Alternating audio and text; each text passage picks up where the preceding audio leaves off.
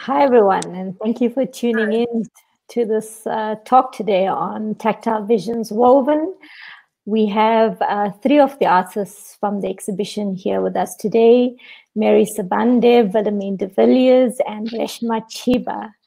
Uh, thank you very much to the artists for making themselves available today and for making their works available for the exhibition. Um, I can't tell you what an honor it is to work with all of you.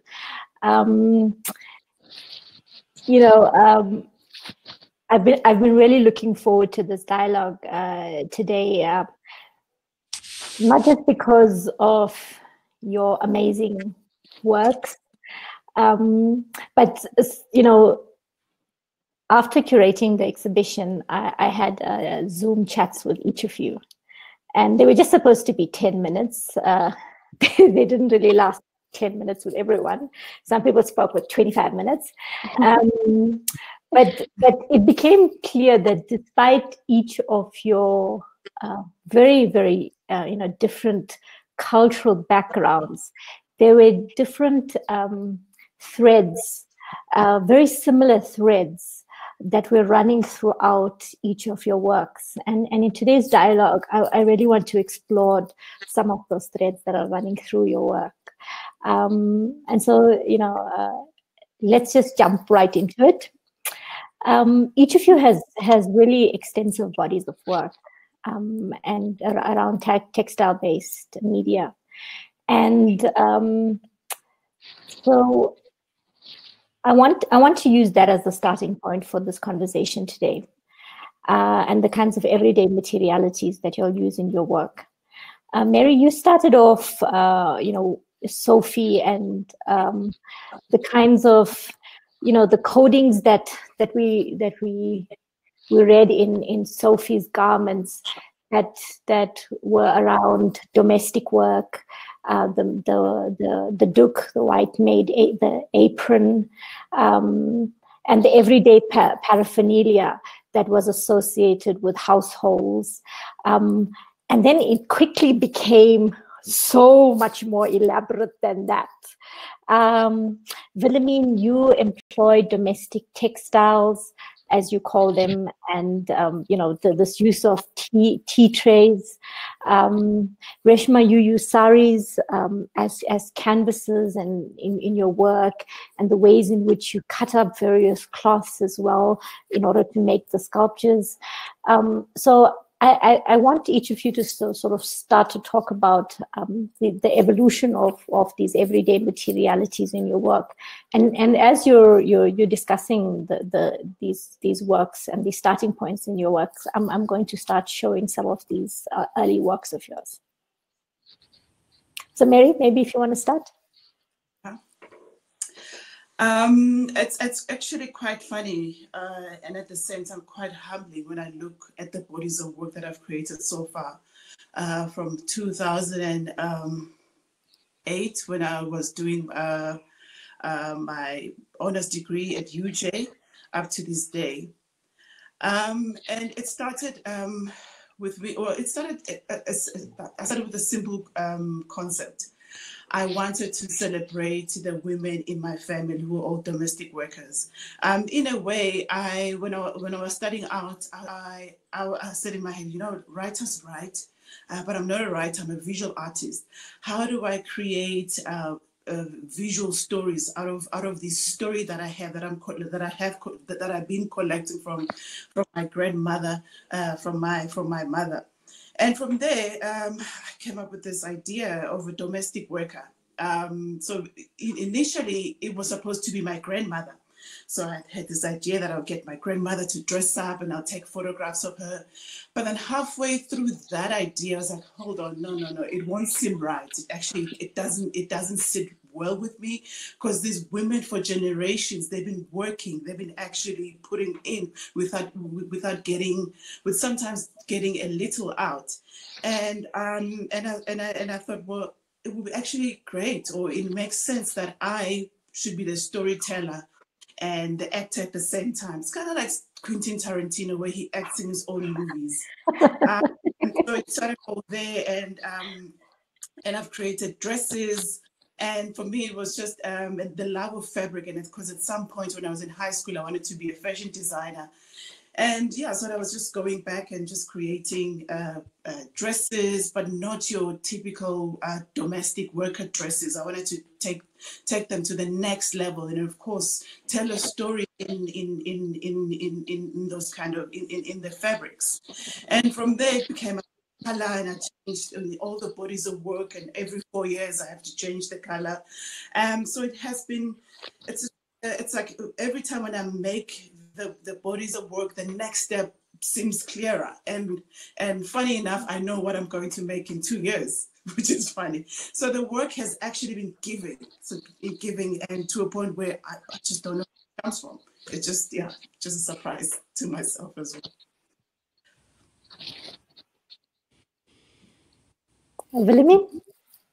Um, for me, the domestic milieu is, is, is incredibly inspiring and um, because it it does hold i think you said that in your previous talk sharlene it holds great potential for love and great potential for violence.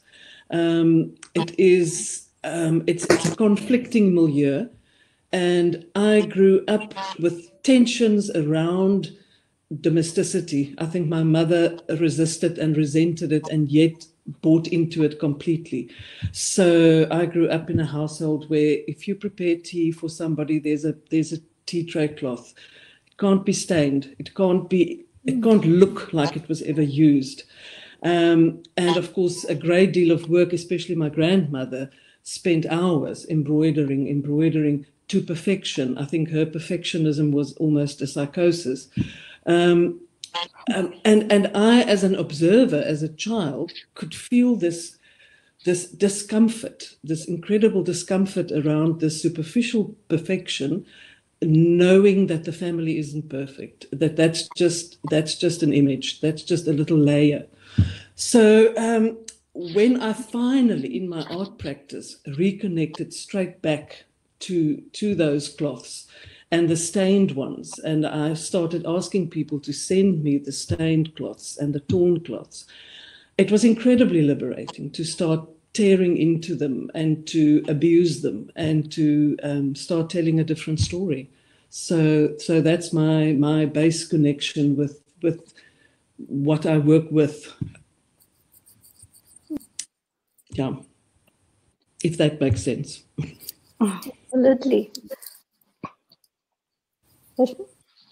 Um, yeah, so for me, um, I mean, my practice, uh, my starting point has always been my maternal grandmother um, and the goddess Kali. Um, and many years ago, um, I started researching this and researching mythology around Kali just because I'm interested in it, also because of my long sort of dance history uh, and interest in mythology there. And I started off with um, abstracted paintings, uh, in fact, different to what you're showing now. Um, and there, the sort of daily, everyday substance that I was using was non-traditional painting media. So crushed coal, ash, turmeric, kumkumam, all these kinds of things that relate to earth, relate to goddess, relate to ritual practices around goddess. Um, and then, uh, you know, for me, all of this was around the idea of a defiant womanhood. And Kali started to present this space of defiance in relation to womanhood. Uh, but in in this in the, at this moment, I was thinking about womanhood in relation to the specificity of my ancestry. And so the sari became, uh, you know, the immediate choice uh, in terms of material. And initially, I started wrapping and binding these, and thread was always a constant uh, material that was used. Um, this idea of penetrating the surface was important for me. Uh, the penetration being almost a, a violent act, uh, but also a disruption of what we think of as women's work, right? Um, but then the saris also become the canvas. You know, the sari is the thing that is supposed to conceal to hide women's bodies.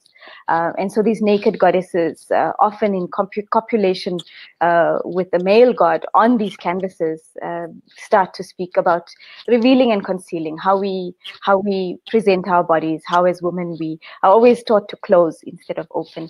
Um, and so the, these goddesses start to counter that. And then the thread uh, itself. Um, as a medium that has always been present. Uh, I then started to think about how does that translate into a more three but three dimensional uh, material. So then I started using uh, cord, nylon cord, to make the sculptures, um, and then from there moved on to starting to cut up fabric and think about binding and knotting and yeah. So mm. that's a, a brief overview. Hope that answers the question. Yeah, you know, when, we're talking about women's histories, of course, um, the issue of binding and knotting is a very complicated one. And, you know, in sewing itself, that, that metaphor of binding and knotting and piercing and poking is, is, is in itself uh, uh, quite telling. Um, I, I, I, I, said it in the earlier talk, and, and, and Reshma, I, I've also, you know, uh, thought about this even in terms of your work. I've also you know it, it's always struck me around you know this this thing of of the you know the when, when i read even when i when i when i was younger and i and i um, read these jane austen novels and you'd have these women in these victorian settings uh, quietly sewing there while while their fates were being you know discussed in front of them. And you know like wanted to shake the living daylights out of them um, because it's that violence, right? That that metaphor of that poking mm. and stabbing that cloth, and and I, and mm. I think about all of you sitting in your studios doing these acts, uh, which is quite violent, and then these incredible works emerging out of them.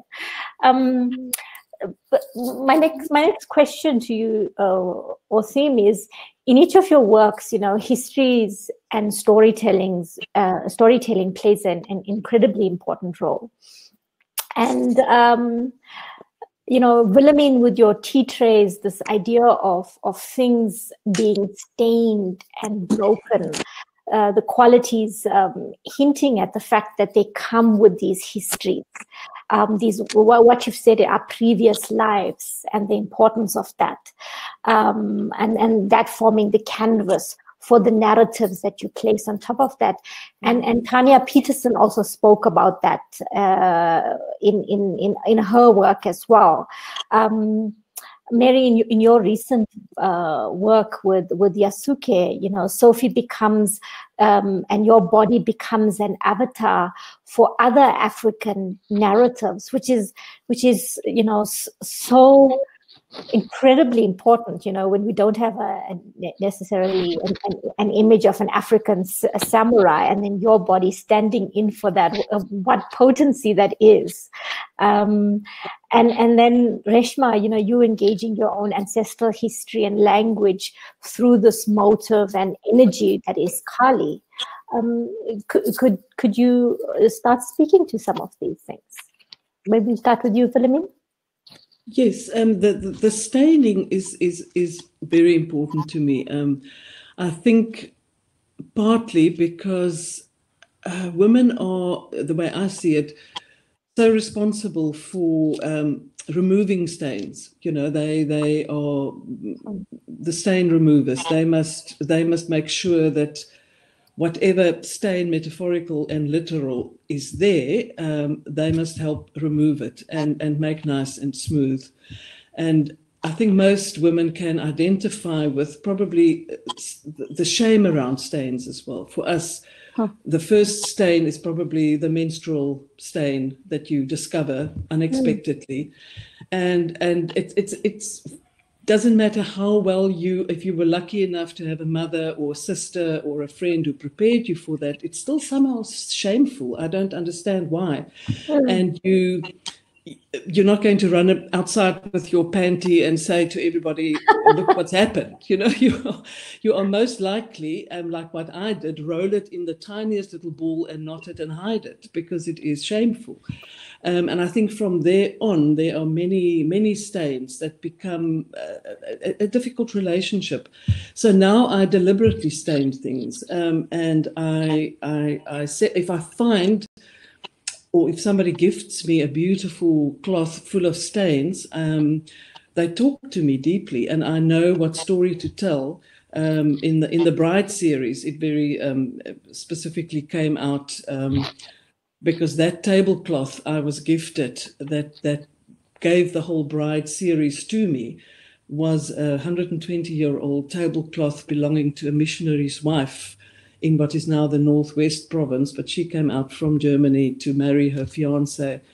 And, um, and that was the tablecloth that she used and stained and mended and mended again. And it was so full of devotion. It was a devotional piece to me, almost like an altar cloth. Um, uh, so, and then the word bride came in. But anyway, I'll speak about the brides later, maybe. It's. Um, it, it stains come with a story that I that that moved me deeply. And, and it's so interesting you're saying that because the, the, the fundamental contradiction here is that in some cultures, of course, that the staining, the on the one hand, you know, the shaming of of of women's menstrual blood when we stain things and how we need to hide that, but then the the act of oh here you are on your you need the on your wedding night here's proof you need that stain yes yes and yeah. how women have had to fake the staining in order to prove their virginity right I don't. Do you know Karen Blixen's lovely story about the white sheet or the white? So it's a beautiful, beautiful story where where the nuns there was a nunnery. I mean, I'm paraphrasing horribly, and I haven't read it for a while, but a nunnery whose sole job it was to weave sheets for brides to use.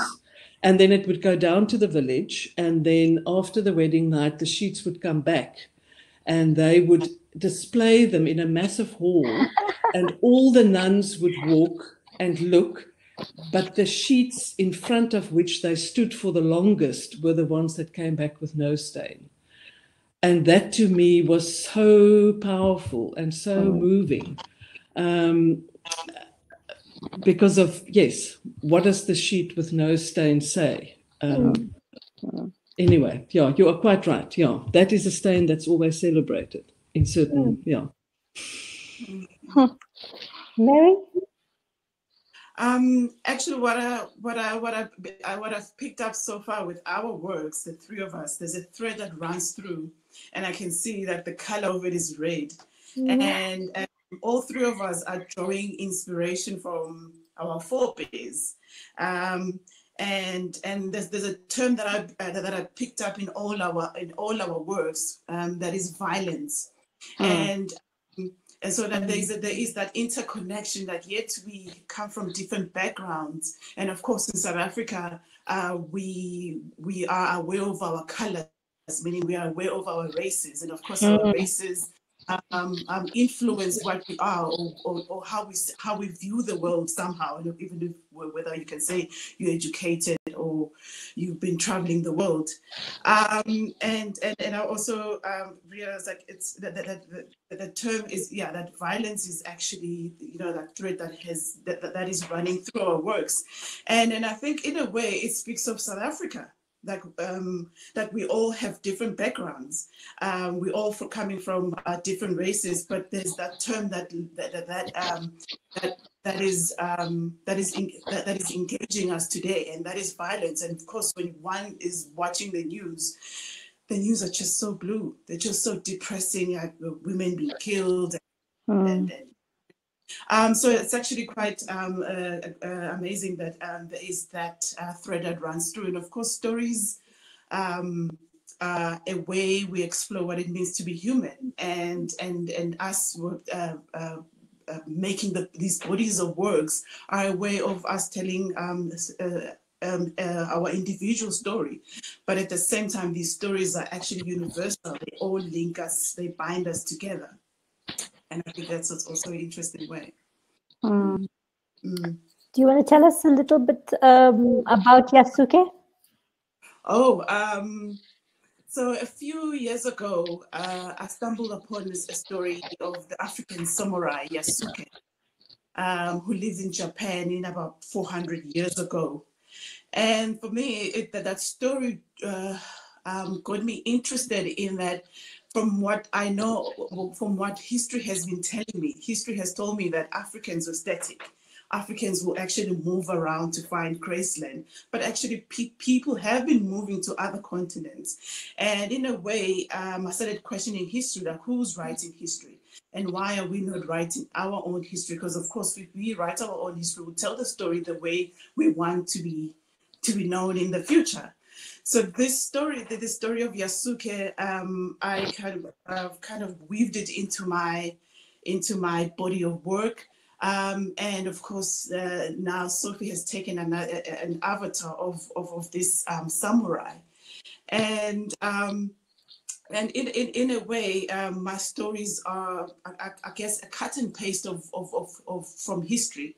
Uh, I, I borrow from from from from from, uh, from movies or uh, from books or from other artists. And um, so the story of, of this work um, it's just tremendous that we actually have been moving. It's just that history has not been telling uh, our story in, in our favor. Um, and this work is, um, um, it, it, comes from uh, the current body of work, the Red series, uh, which is titled I Came Apart at the Seams.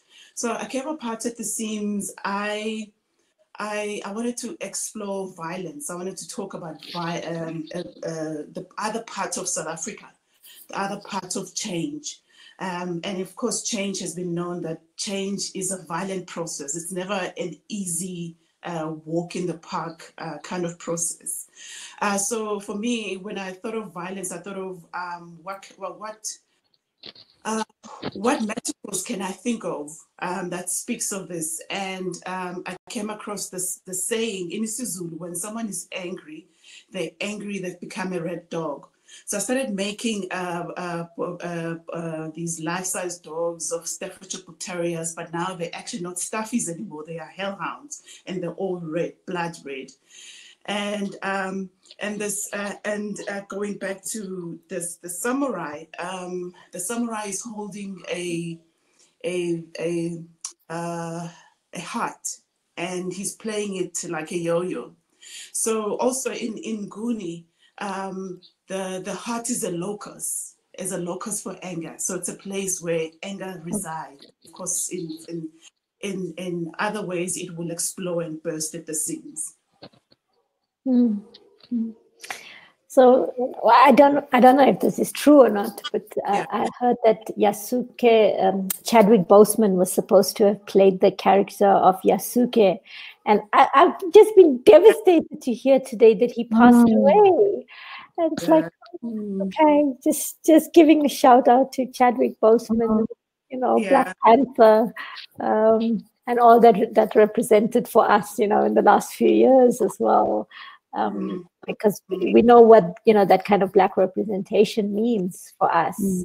um, uh, and and I'll never forgive Avengers for not putting uh, Black Panther in the end game. So, okay, moving on.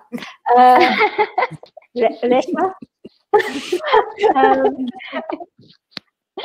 yeah, okay. So that was a sign. Punctuations along the way. Um, uh, no, I think, you know, uh, just thinking about what uh, both um, Mary and Willemein have been saying, I think the one thing, it's not just violence um, and rage, but it's also this idea of how, uh, in some cases, uh, you know, women sometimes are also responsible for how they are the upholders of patriarchy. And I think, you know, I think of those white sheets and nuns looking at this. Um, these are women looking at it, you know, and having uh, having expectations on other women, and this kind of policing of women's bodies also happens by women, you know. But that's also just a, sorry, that was a punctuation. But to answer your question, Sharlene, um, about my own ancestral history and my uh, interest in storytelling.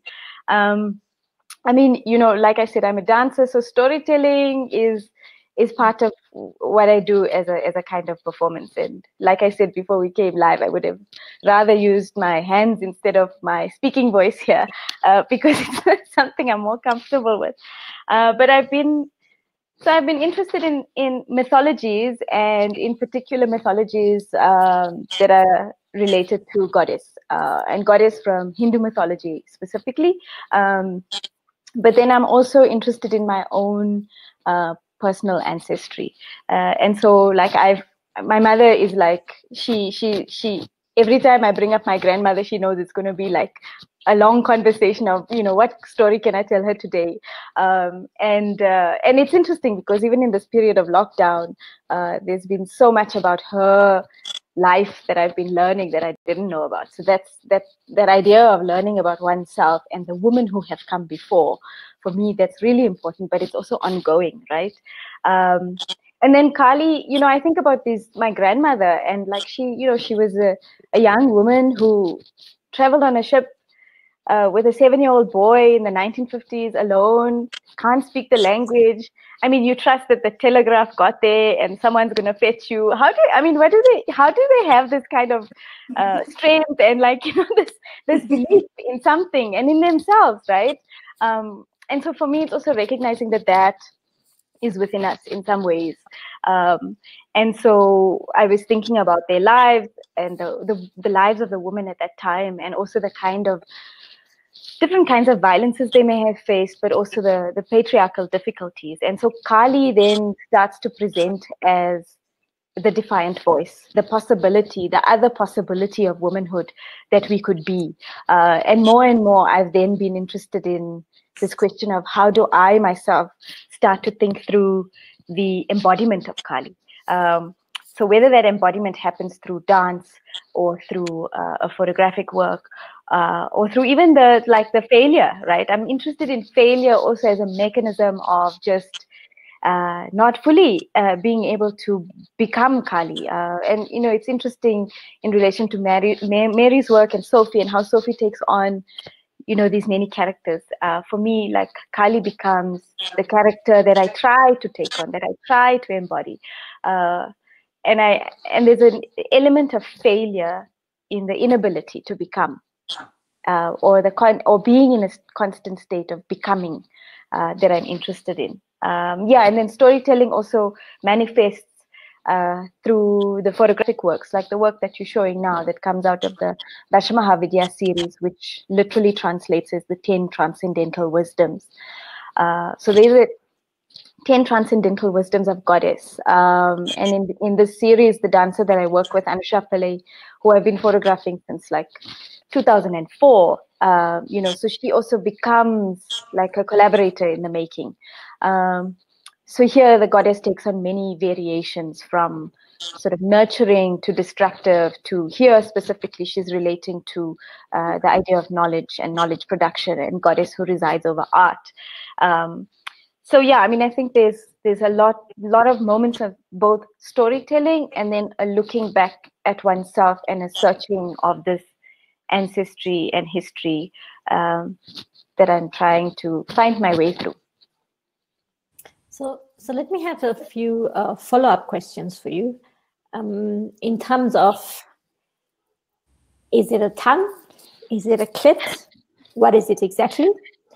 And um, you know, uh, you're you're you're a dancer and you're a dance teacher, Bharatanatyam dance teacher. You have your own school, um, and I'm wondering for people who are not spiritual, right? Who who hear about this, um, this you know, people who think, uh, well, all this energy, spiritual stuff is all frou frou stuff.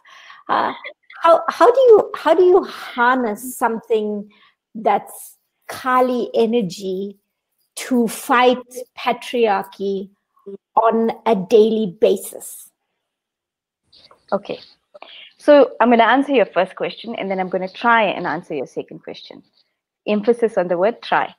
So the first part of your question around the tongue, it's a tongue. Uh, but the multiplicity of meaning or what it could be is deliberate. Um, the fact that it hangs in this specific work here, the fact that it hangs from a woman's body around her waist, it becomes an exaggerated clitoris. It's also riffing off a, a theater style, a folk theater style called Mudiyettu, which is a dance style, a folk theater style of in from Kerala.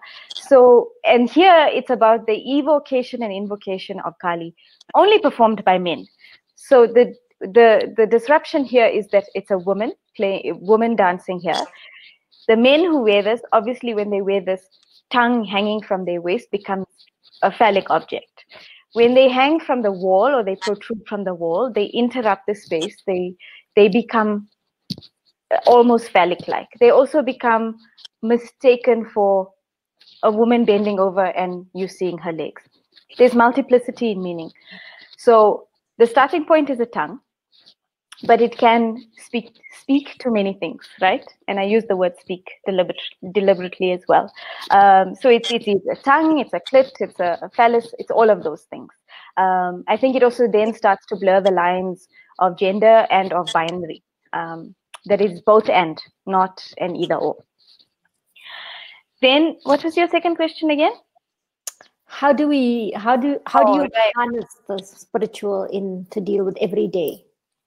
So I'm I'm interested in both the physical and the transcendent, um, the mythological and the real. So there's a there's a strong use of irony.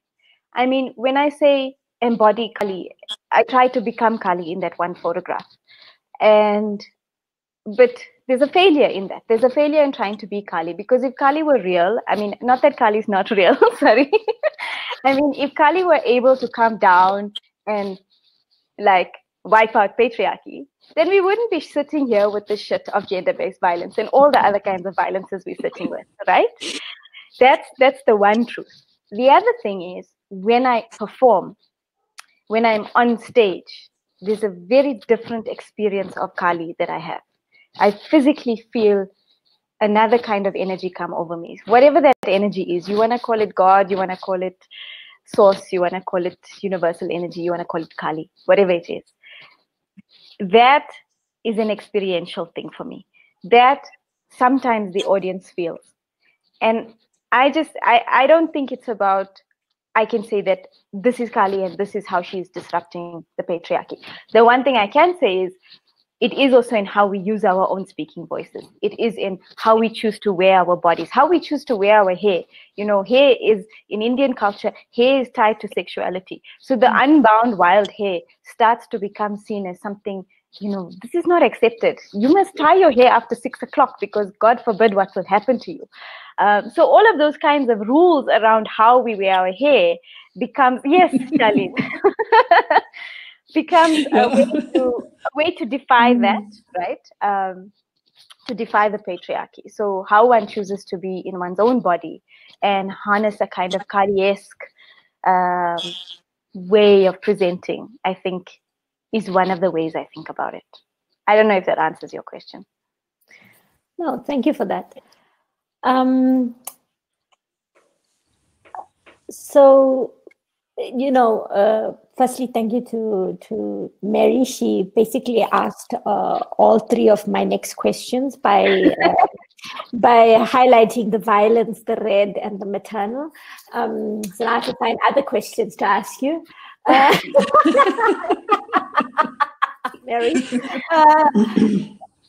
But I, I, but I mean, I want to go to um, I want to, I do want to follow the bloodlines uh, that that that Mary uh, highlighted in from from Reshma's work into your work, um, and and particularly into the Bride series, uh, because you you know the Tactile Visions has a few of your Bride works, and and so I, I, I want to discuss what are the nuances between the different Bride works. You have we have the the Bride uh, Child Bride, Subversive Bride. I don't know how many more bride works there are, but but can you take us through that that bride series that you have while I bring up some of those works on screen?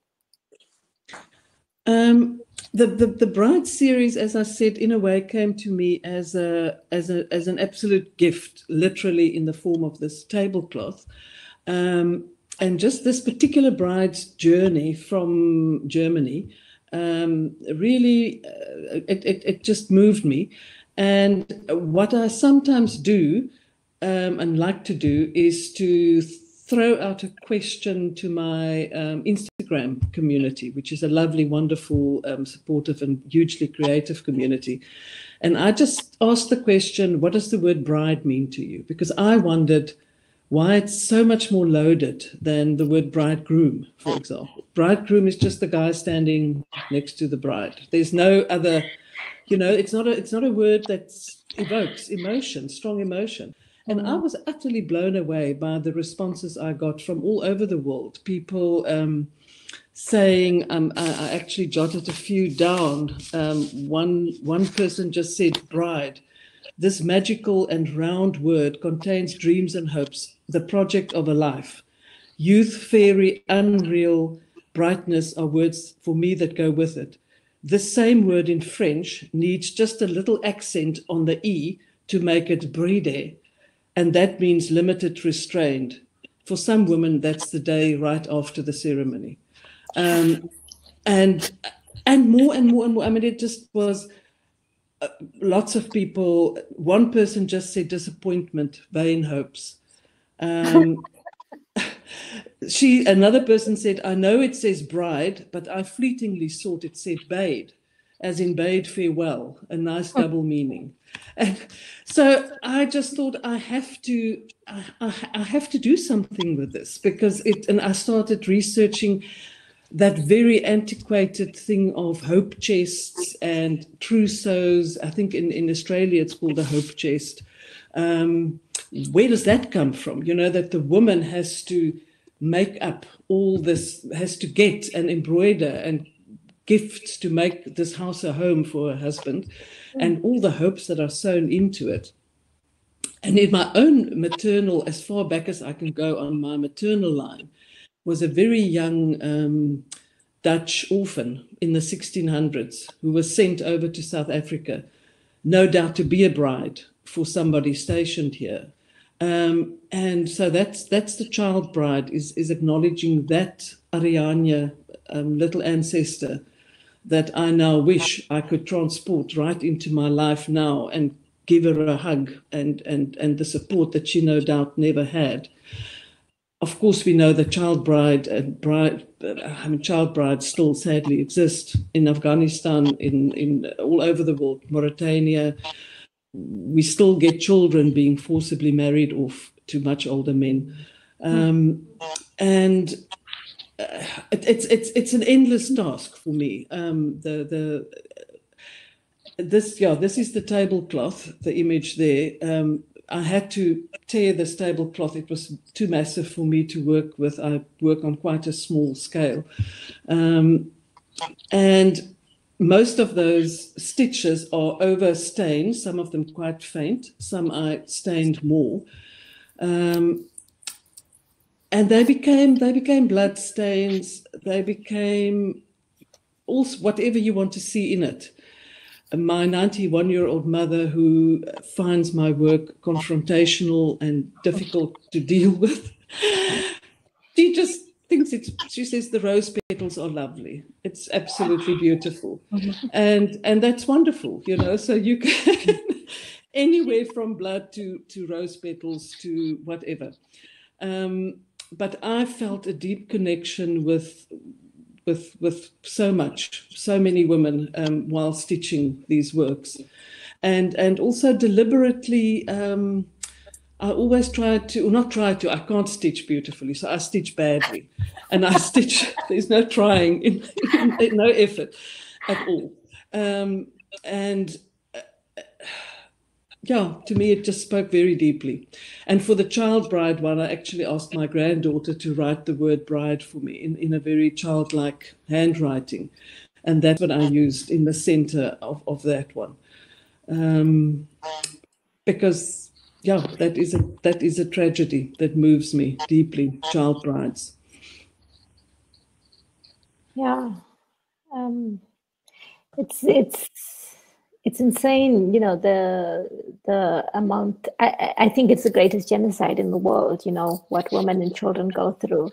Um, and statistics that we're that we're hearing even coming out of you know the, that in South Africa uh, uh the the rate of, of of gender violence for South African women are five times higher than anywhere else in the world. Mm. Um, it's almost too hard to comprehend. It's too hard to to process. Um, I, I, I, often I feel all of us perhaps sit with this unprocessed. Um, oh, you know, you don't know where to actually take it but to work. I mean, and I think that is the compulsion of working and continuing to work because that is where I can put my anger, my sadness, mm. the joys. Also, um, I can't I can't put it anywhere else. Otherwise, um, you know, I, I, well, I often say it's a good thing I don't own a gun because who knows what I would actually do.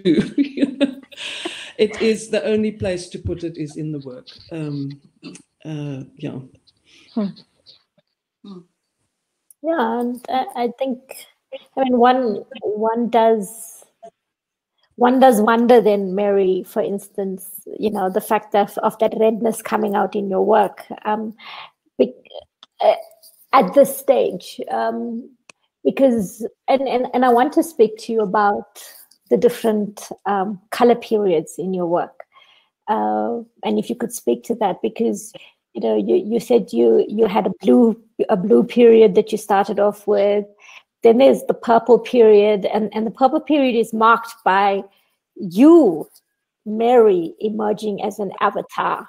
And now there's this red period. And by the way this is you know very matrix you know you and fighting with yourself sophie who's you and then there's you who's you and then now there's you who's it's, i'm sorry i hope there's no children on here but it's a real mind fuck mary um, in, the, in the absolute best of ways um, someday I'd have enough time to like really sit down and write about this. But like, yeah, it's like all the matrix films put together. um, uh, I'm, I'm gonna I'm gonna show uh, uh, some of those slides, but maybe if you could speak to to this progression of of of, of color in the work, um, uh, and and what and maybe what what it means to arrive now at this kind of red phase in your work. Yeah, um, it started with the dream, and the dreams that are dreaming and the dream dreams that are dreaming and then it just became like you know like uh uh what do you call it?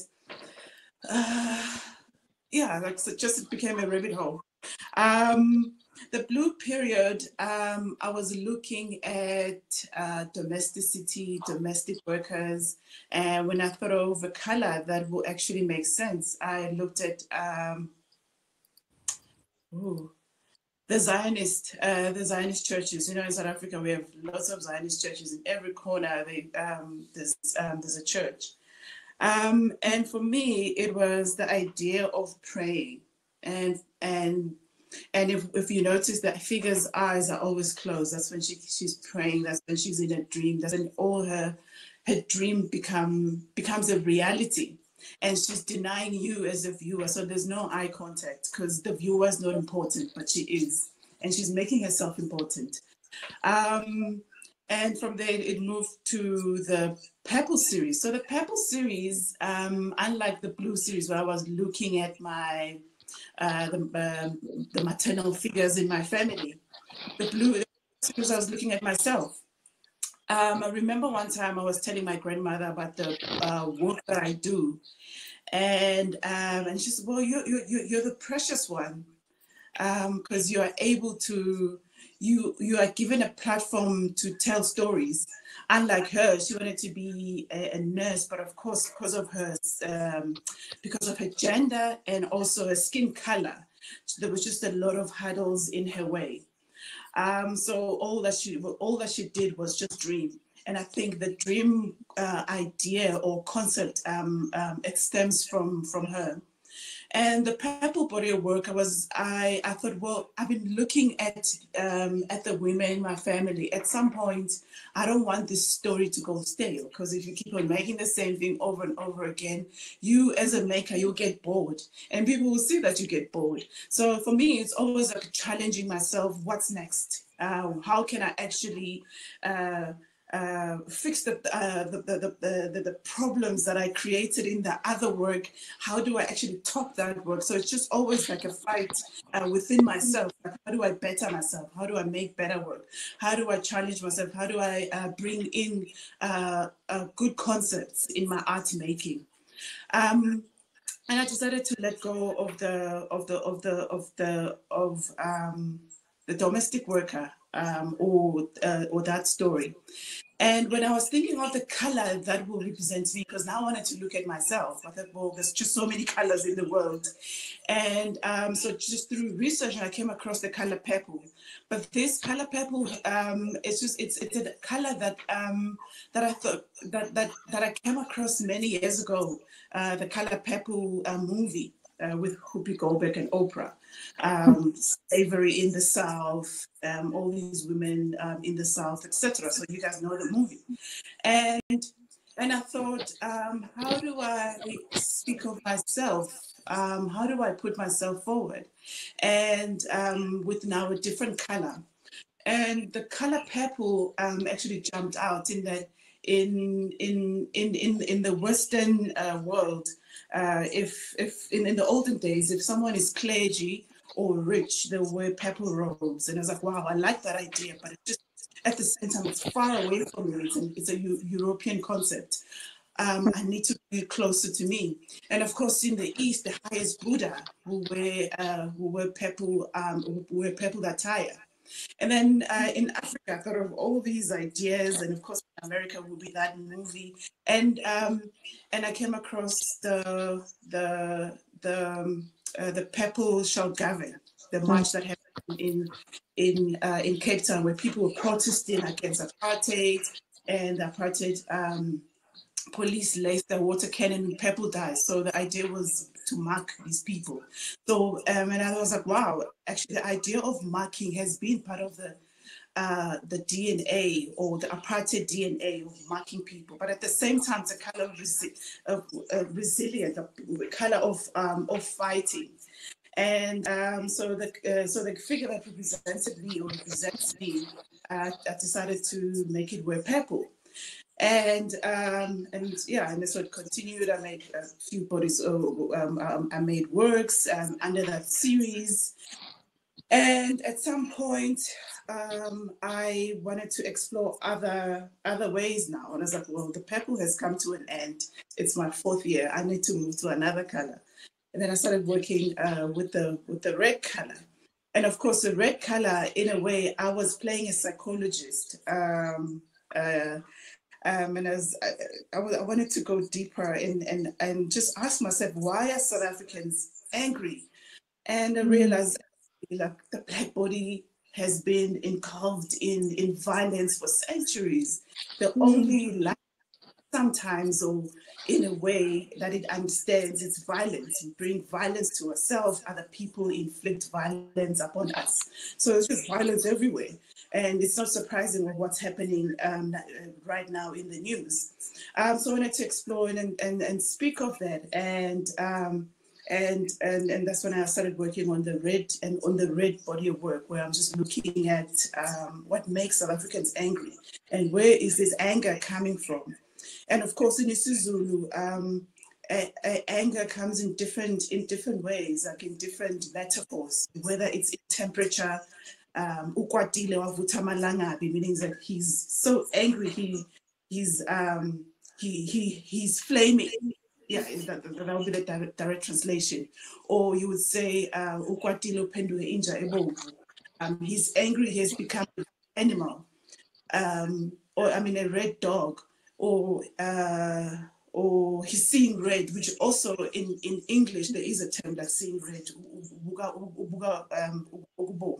So these terms just you know came into the into the work into my work and just started making uh, visual objects out of out of these um, idioms um, uh, mm-hmm. out of these idioms, Onguni idioms. Thank you.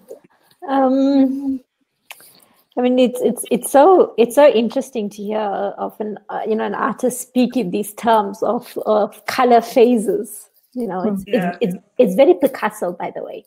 Um, is your Western reference. very genius, uh, very. Uh, so, so final, so final question to to each of you. Um, you know, your, your works uh, speak of the immense, you know, reservoirs of resourcefulness that women contain in, in negotiating their lives. You know, your imagery, your characters, your avatars do this, of course. But your practice, your extensive practice, speaks of the fact that all of y'all embody this as woman artists in, in order to survive just the art field itself. Um, what are some of the inspirations that uh, influence you or that you harness in, in, in order to, to sustain yourselves on a daily basis? Mm. Look at them; they weren't expecting this question. Yeah, this is no, no. Um, um. this, this is the Miss, this is the Miss South Africa portion of. The, yeah, I just want world peace. but I didn't ask you what you want. I asked what sustains you. Uh, I, I, guess as, as, as, as an artist, you, uh, I would say one is addicted to torture. Like when you oh, uh, uh, um, when you research but the more you know i think for me like the i've been the last couple of years i've just been you know like yearning to learn and reading books. I just be, i'm becoming more and more depressed just you know just being helpless uh, about the world um, when you when you find out like actually this is this stems from that um, mm. you know, like nothing just happens um, out of the blue. There is history behind it, and mm. the more you know, uh, the more it just becomes just so helpless. And um, and yeah, and I think, I think yeah. I don't know what, what was the question again. What, what sustains you, not what depresses you.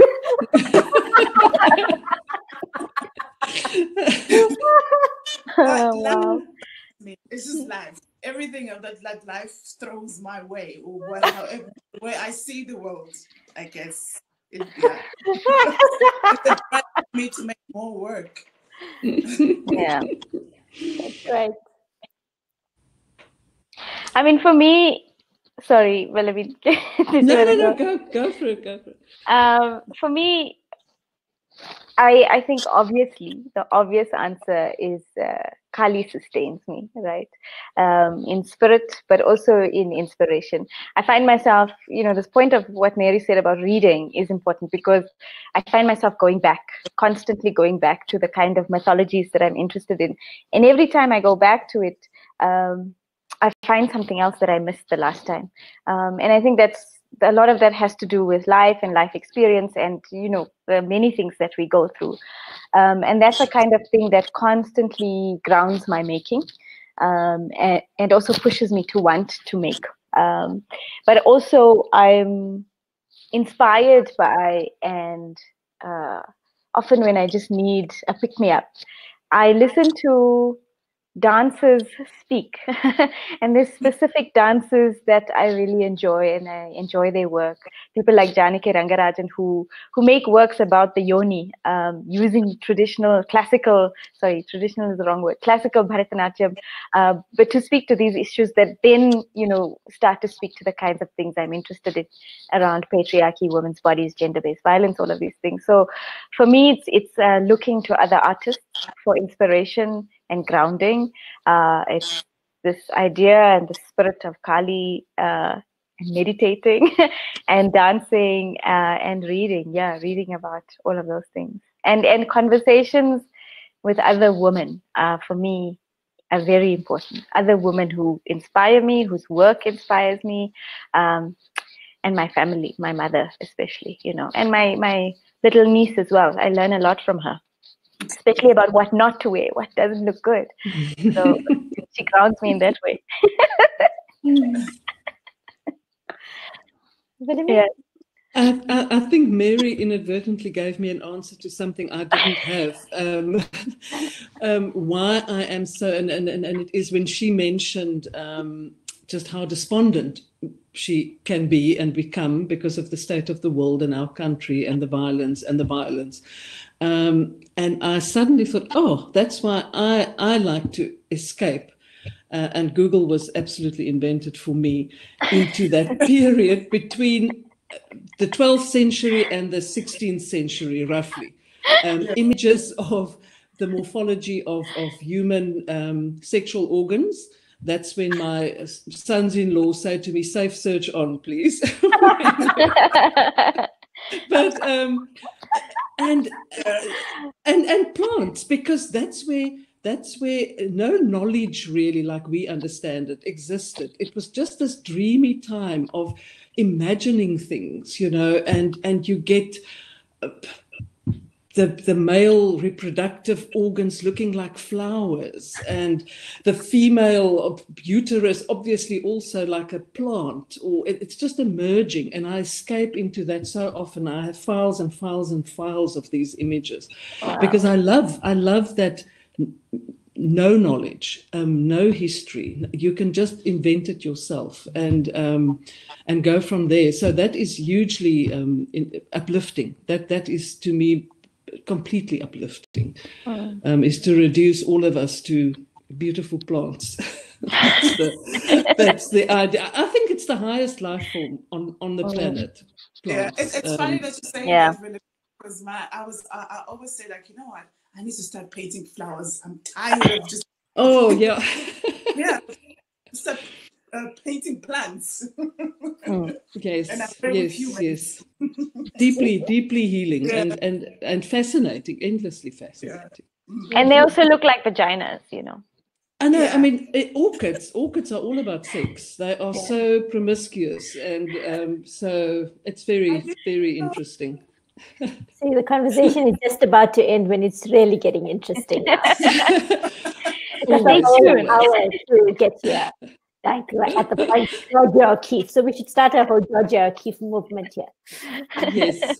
I, I, want, I want to say a huge thank you to to all of you for this fantastic conversation and for, for really what is the gift of your work. Um, because that's that's what it really is. You know, the, your your your imaginations allow us to to traverse uh, time and space and and other dimensions and possibilities at the same time that they really tussle with the very harsh realities that we deal with.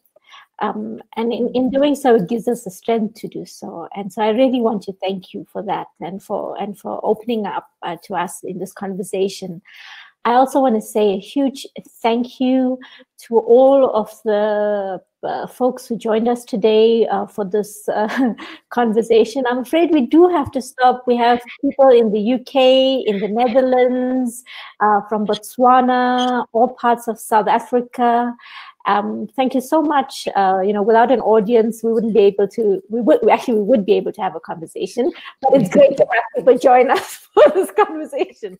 So thank you so much for this, and and really, um, all of you, thank you so much for for your work. It's it's it's and for making it available for tactile visions woven. Mm. It, it's it's it's such an honor to to uh, to have had you uh, as part of this this exhibition. So thank, thank you, you, Sharlene. Thank you, thank you, Sharlene. Yeah. It's been great. So much. Thank you. Thanks, everyone. Bye. Bye. Bye.